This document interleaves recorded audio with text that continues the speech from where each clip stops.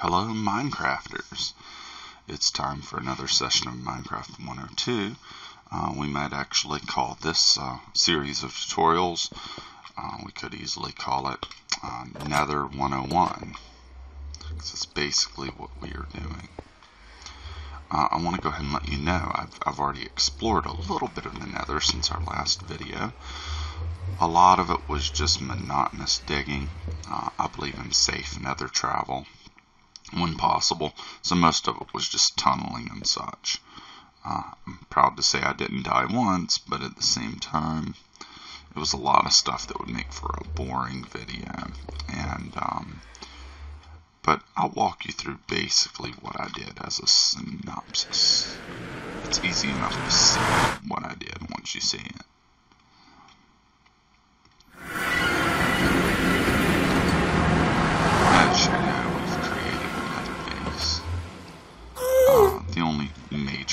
Difference here, waiting on things to load, is that I added an iron door. And um, maybe I added these chests in the last video, maybe I did, I can't remember. Um, but these chests are here mostly for netherrack and for a few other materials that we're not using at the moment, but that we may want to save for later. Uh, this is more just straight up netherrack. This is more things that have a little more value to them. I'm to bring a few of those nether bricks for filling in and such. Alright. The first thing I'm to do is just run out there. Now, I've already explored a little bit and we actually got incredibly lucky. Uh, the nether fortress is uh, over here just to the right and ahead. It's usually not that close. I'm waiting on the ghast that to shoot at. So I found it over there. If you go over there, there is a way in. And I kill these magmas and get that good stuff. Um, when I came back out and I, and I found my blaze spawner, I decided to make a more direct path that is pretty much straight ahead from the door of the base. What I think I'm going to do, I'm to come back. I'm to nether, or I'm to cobblestone, I'm going to nether rack it. I'm to cobblestone this in.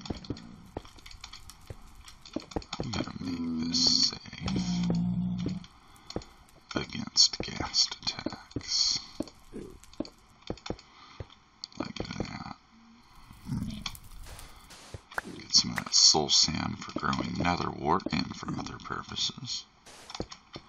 I'm not going to do this whole thing right now. But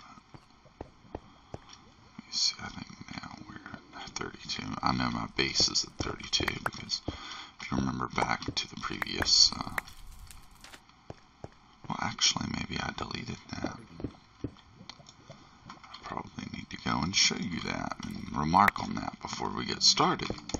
First thing we want to do is hit F3 and note the coordinates of our base. I want to do this when I'm standing over there in my base, of course. And um, I wrote those down on an index card. My nether base is located at negative 19, and then Y 32, and then Z 5.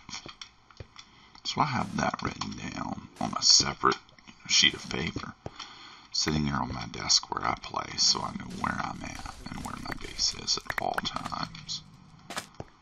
Okay. That's a good start right there. So I know that I'm lined up for that if I hit F3. You can see the only thing I have to do is follow the X coordinate down to X negative 19 and I'm there. So let's go ahead.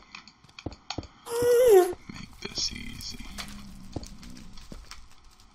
Then the rest.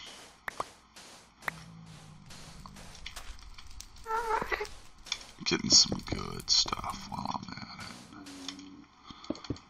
Kind of like Minecraft 101 way back when. When we were first dating. Oh, he really wants to shoot me. I need to get my enchanted bow out here for, for that little body. Him faster to deal with. Ghast. That is a ghast, by the way.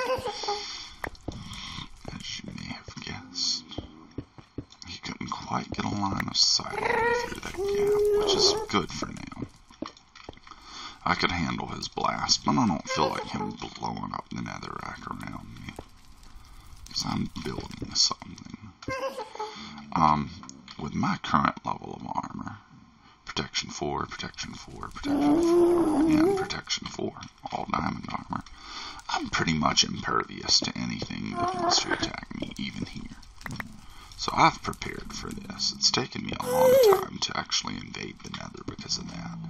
But when I do invade the nether, I can do so with full confidence. There's a mod that I used to play with called MCMMO. And they have an. If you have diamond armor in MCMMO, it has the added benefit of giving you lava protection. So you can run around in lava for like 5 or 6 seconds and not take any damage. That was a really good item for the nether, but I am playing vanilla Minecraft. I am not cheating on anything. That used to be fun, but it was too easy. It became boring very quickly. One reason I like the nether is because it's a little dangerous and a little challenging. But your skill is rewarded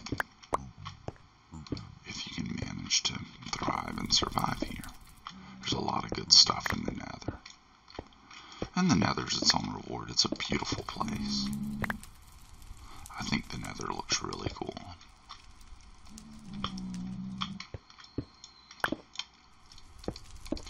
The most important thing is of what's above and below us. Want cobblestone there.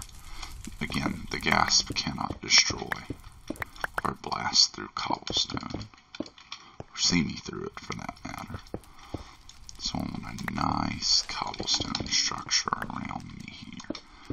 I'll fill out the rest later. I'm just wanting that not to be air. Okay. Good. We don't have to do the whole thing. But you get the idea.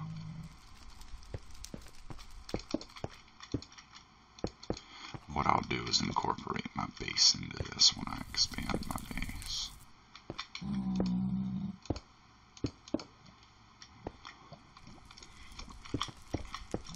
But for now, you get the idea.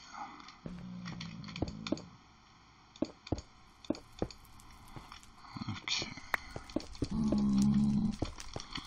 Let's finish her off.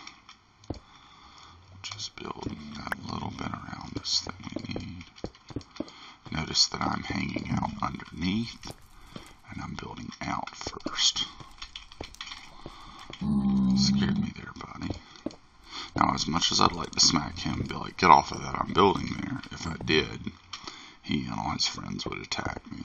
That's what makes zombie pigmen annoying.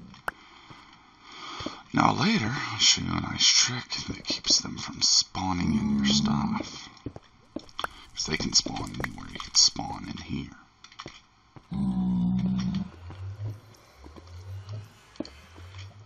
But if I put in a half slab in here, any kind of slab, it can be you know, cobblestone, he will not be able to spawn.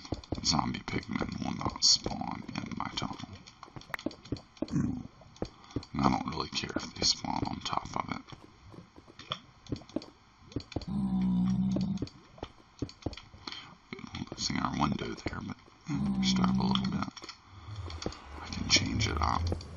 No problem.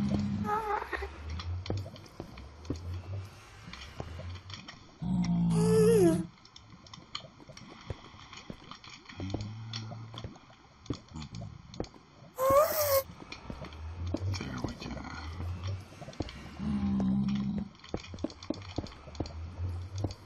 Completely protected. So now, my friends,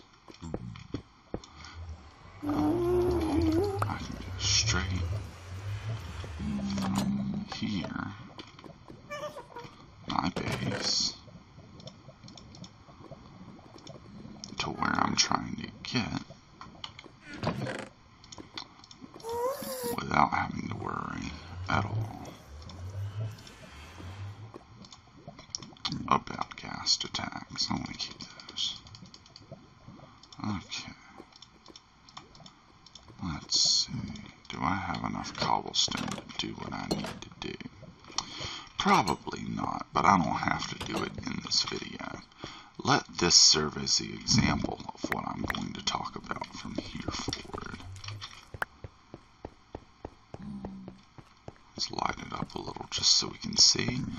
Mobs are going to spawn in the nether regardless.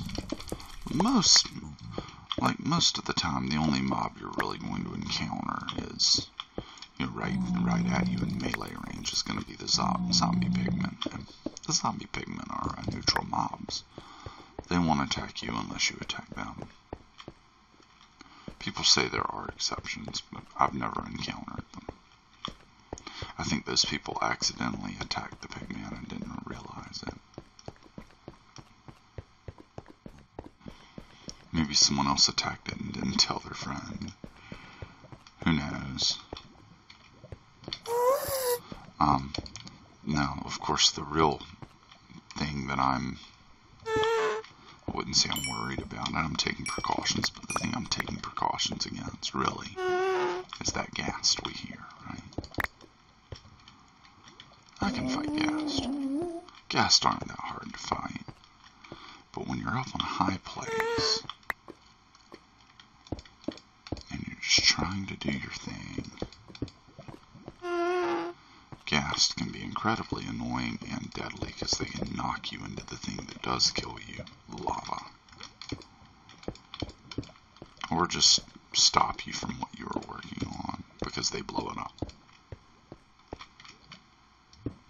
But they can't blow up cobblestone. They can blow up netherrack. So what am I doing? I'm putting an all cobblestone floor here where I enter. There we go. Wasted a little. Okay. Okay, and finally, let's just even it up. There we go. And let's torch it so we can see that clearly as an entrance. Now I have to hit that with my uh, fortune pick later and get that quartz with fortune.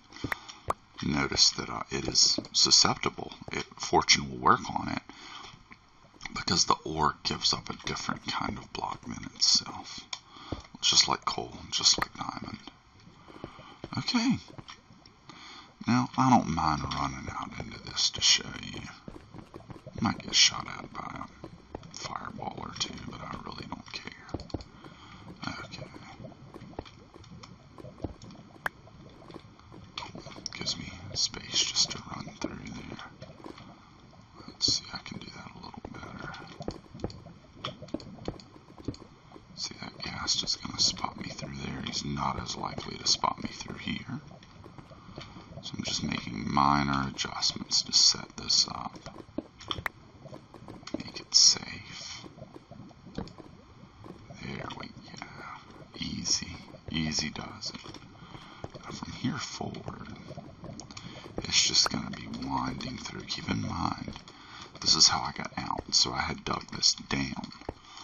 Once you locate a nether fortress uh, tower, one of these supports, really that's what they are, is more support than a tower, you can pretty easily dig it, dig down, and dig out sort of a, uh, uh, a crude spiral staircase of sorts to get back down to ground level or to get up. Okay. Almost got this. I want to make this one safe.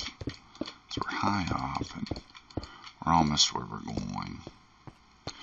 what I'm ultimately doing is making a direct path back to my base to this uh, blaze spawner because the blaze spawner is the main thing I'm wanting to farm out here. The next video will deal with uh, making a mob grinder or probably just a manual mob grinder where I do the killing myself.